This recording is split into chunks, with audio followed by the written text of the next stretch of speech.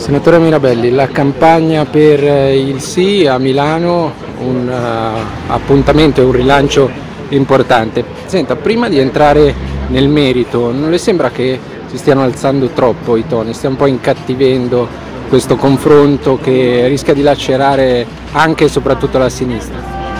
Guardi, io credo che noi abbiamo bisogno di spiegare agli italiani su che cosa si va a votare e credo che si debba stare sul merito della riforma. Lo sforzo che stiamo facendo è questo, stare sul merito della riforma, spiegare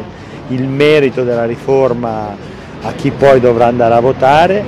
D'altra parte il merito della riforma è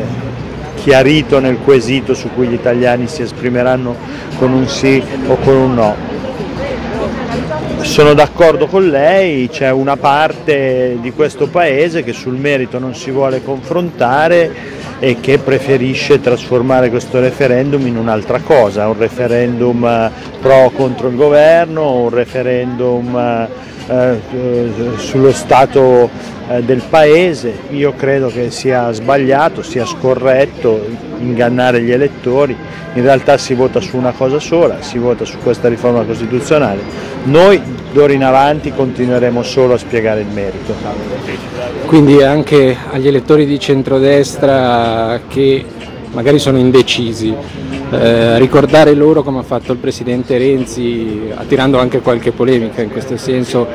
sulla coerenza rispetto a scelte che erano state fatte nel passato in materia costituzionale, le sembra una buona strada?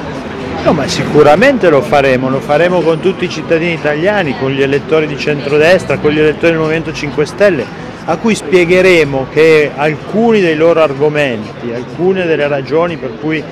eh, hanno manifestato una contrarietà a questa politica e hanno protestato contro istituzioni che non funzionano, che sono troppo costose, eh, sono risolti da questo referendum.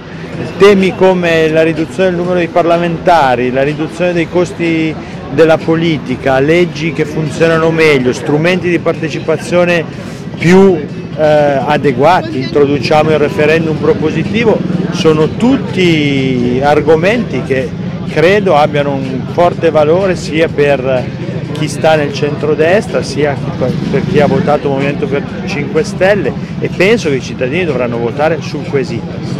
Come si immagina il confronto nel Partito Democratico il 5 di dicembre?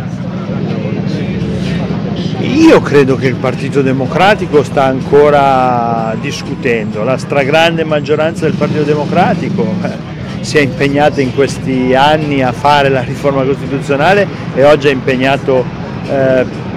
a sostenere il sì. Altri stanno manifestando alcune preoccupazioni rispetto a eh, quello che loro chiamano il combinato disposto con la legge eh, elettorale, stiamo cercando di risolverlo, sicuramente abbiamo avuto già un passo avanti in direzione perché la scelta che ha fatto Matteo Renzi di, di fare